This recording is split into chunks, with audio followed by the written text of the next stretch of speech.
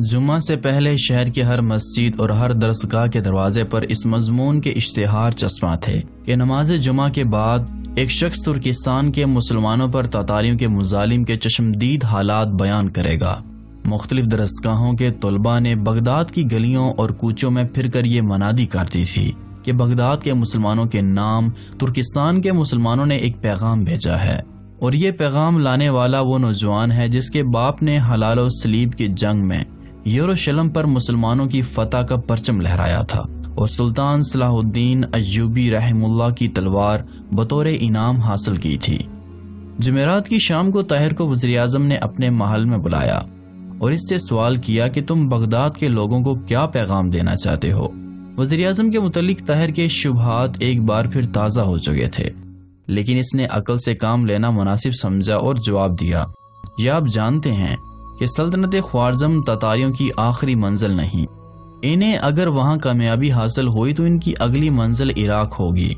मुमकिन है कि दौलत बासिया के साथ चंगेज खान के दोस्ताना ताल्लुकात कायम रहें, लेकिन कमज़ोर के लिए ताकतवर की दोस्ती का भरोसा हमाकत है। इसलिए मैं चाहता हूँ कि हम बुरे से बुरे हालात के मुकाबले के लिए तैयार हो जाएँ। मैं बगदाद के सोए हुए मुसलमानों को बेदार करना चाहता हूँ, ताकि अगर दुश्मन आ जाए तो कम अज कम अपने घरों की हिफाजत के लिए तैयार तो रहें। वजी अजम ने कहा कि मुझे डर है कि तुम खलीफा के मुतलिक कोई गुस्साखी न कर बैठो। ताहिर ने जवाब दिया कि मैं इसके बरक्स ये समझता हूँ कि इस तकरीर से खलीफा और आपकी बहुत बड़ी खिदमत सर अंजाम दूँगा। ताहिर ने वजी अजम के इसरार पर वहीं खाना खाया। दस्तरखान पर कासम भी मौजूद था और इसने बेतोजी से ख्वारजम के मुतलिक चंद सवाल पूछे। और जब ताहिर वज़ीर अजम से रुख्सत हुआ तो कासम बरामदे तक छोड़ने के लिए आया। ताहिर के साथ मुसाफा करते हुए इसने तंजन सवाल किया, क्या आपने इससे कबल किसी बड़े मजमे में तकरीर की है? मैं सिर्फ़ एक सिपाही हूँ, ताहिर ने मुस्कुराते हुए जवाब दिया। महल से बाहर अब्दुल अज़ीज़ और अब्दुल मलिक नहायत बेचैनी के साथ ताहिर का इंतज़ार कर रहे थे। अब्दुल अज़ीज़ ने इसे देखते ही कहा कि आपने सख्त गलती की। हमें डर था कि वज़ीर आज़म आपको खतरनाक समझकर हिरासत में न ले लें।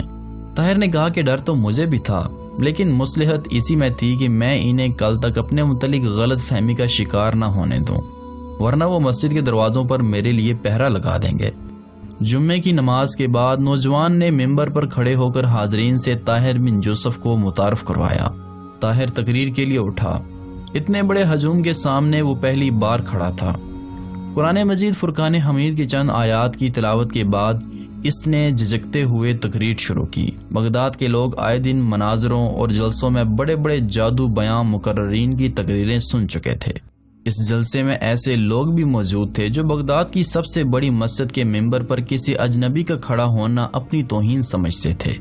ऐसे लोग भी थे जो ये महसूस कर रहे थे कि काश आज भी कोई मुनाजरा होता। एक मशहूर आलम ने नहायत भोले अंदाज में उठकर कहा आप बरह करम बैठ जाइए और उस शख्स को बोलने का मौका दीजिए जो कि तुर्किस्तान से आया है। इस पर बाज लोग हंस पड़े, लेकिन ताहिर पर इसका कोई असर न हुआ।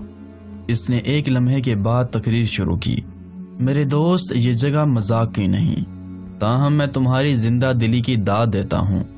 काश तुम मैदान जंग में भी इसी कदर ज़िंदा दिली का सबूत दे सको। मैं यहाँ अपनी तकरीर की दाद लेने के लिए नहीं आया।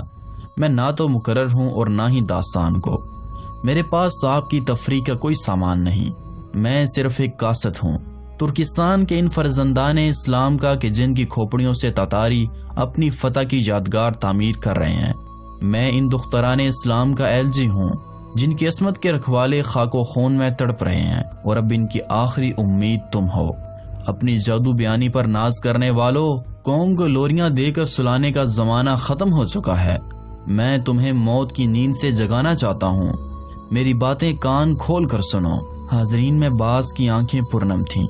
एक नौजवान बड़ी मुश्किल से अपनी सिस्कियाँ जबत कर रहा था।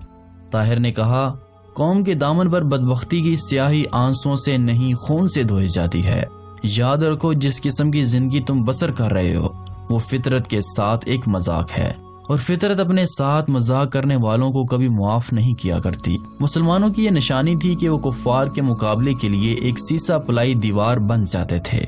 लेकिन आज जबकि कुफर तुम्हारे खिलाफ अपनी तमाम ताकतें मुतहिद कर चुका है, तुम्हारे आलम तुम्हें बगदाद के चौराहों पर जमा करके एक दूसरे का सर फोड़ने का मशवरा देते हैं। इस पर एक शख्स जो बगदाद के एक गिरोह का नामवर मनाजर समझा जाता था उठकर खड़ा हो गया और चलाया। ये पूछने की ज़रूरत कर सकता हूँ कि आप किस फिरके से ताल्लुक रखते हैं? ताहिर ने इसे बैठने का इशारा करते हुए कहा कि मैं एक मुसलमान हूँ। तुम 300 सालों से मुसलमानों की किस्में गिन रहे हो, लेकिन आज तक असली और नकली, सच्चे और झूठे का फैसला नहीं हो सका। और इसकी वजह यह है कि तुम दूसरों को इस्लाम की कसौटी पर नहीं पड़कते, बल्कि तुम में से हर एक ने अपने लिए अलहदा अलहदा कसौटियाँ बना रखी हैं। और इन कसौटियों पर तुम्हारी अपनी जात के सिवा कोई पूरा नहीं उतरता। मेरे अज़ीज़, हो सकता है कि मैं एक कम इलम आदमी होने की सूरत में तुम्हारी तरह न सोच सकूँ। ख्यालात के पर लगाकर तुम्हारे साथ बुलंद फिजाओं में परवाज न कर सकूँ। और दूसरों का ईमान परखने के लिए जो कसौटी तुमने बनाई है, मैं शायद इस पर पूरा ना उतर सकूँ। लेकिन अगर तुम ख्वारजम के किसी मैदान में मेरे हम रकाब होते और वहाँ ये सवाल करते कि मैं किस किस्म का मुसलमान हूँ तो मैं तुम्हें ये जवाब देता कि सामने चंद कदम पर मोमन के ईमान की कसौटी मौजूद है। अगर मैं कुफार के तीरों की बारिश में मुस्कुरा सकूँ, इनकी तलवारों के सामने कलमा पढ़ सकूँ तो समझ लेना कि मैं एक मुसलमान हूँ। मोमन के ईमान की कसौटी मैदान जिहाद है, जहाँ हर मुसलमान के खून का रंग सुर्ख होता है। अगर तुम हज़ार साल और भी मनाजरे करते रहे तो भी साबित ना कर सकोगे कि कौन झूठा और कौन सच्चा है। लेकिन मैं ख्वार्ज में अपनी आँखों से देख आया हूँ कि एक फिरके का मुसलमान दूसरे फिरके के मुसलमानों के लिए ढाल था। हमले के वक्त इनका नारा एक था। वो सब एक ही किस्म के मुसलमान थे। आज हम में ऐसे लोग भी मौजूद हैं जो कहते हैं कि ताकतवर दुश्मन से जिहाद जायज़ नहीं। हम में ऐसे भी लोग मौजूद हैं जो दुश्मन का नाम सुनकर भाग जाते हैं और ऐसे भी हैं जो अपनी ज़ात को चंगे की नज़र करम का मुस्तक बनाने के लिए आलम इस्लाम को ततारियों के पास फरोख्त कर रहे हैं। मेरे दोस्तों, शायद मुझे बगदाद में इतने बड़े मजमे के सामने दोबारा तकरीर करने का मौका न मिले।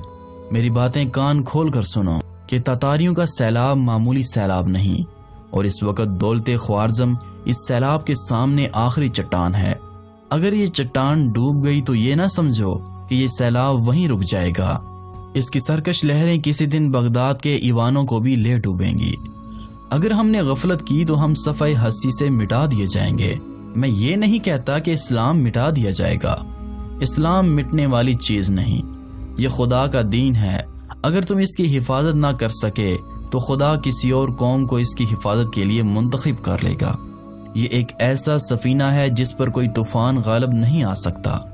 मैं आपको बता चुका हूँ कि बगदाद के ऊँचे ईवानों में रहने वाले बाज लोग ख्वाजम के खिलाफ ततारियों के साथ साजबाज कर चुके हैं। एक शख्स ने उठकर कहा कि हम इनके नाम सुनना चाहते हैं। ताहिर ने जवाब दिया कि मैं सिर्फ़ साजिश के बारे में जानता हूँ। अभी तक किसी खास शख्सियत की तरफ़ इशारा नहीं कर सकता।